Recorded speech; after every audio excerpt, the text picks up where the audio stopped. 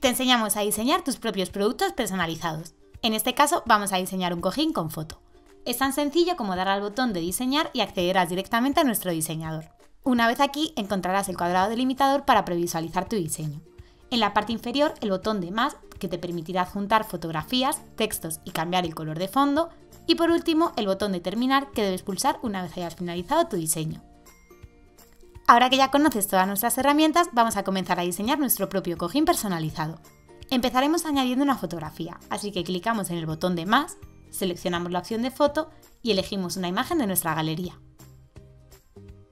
Por ejemplo, esta. Como puedes ver, la imagen se abrirá directamente en el cuadrado delimitador. Una vez aquí puedes ajustarla mediante los parámetros de tamaño, movimiento y rotación.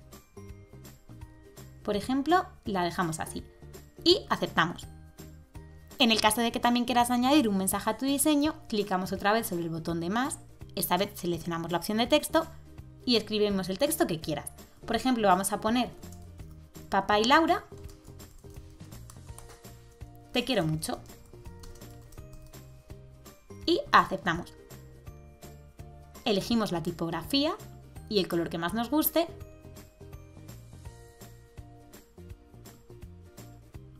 y lo insertamos en nuestro diseño. Como puedes ver, puedes editar el texto con todas las herramientas que aparecen en la barra inferior. En este caso vamos a editar la alineación. Puedes desplazarlo hacia la izquierda, centrarlo o hacia la derecha. En este caso lo vamos a dejar centrado. Así que le damos a centrar y al botón aceptar.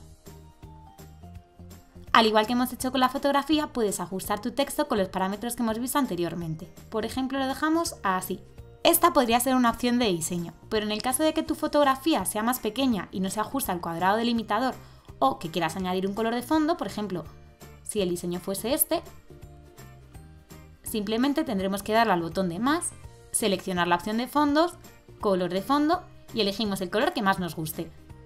En este caso, por ejemplo, vamos a coger este color.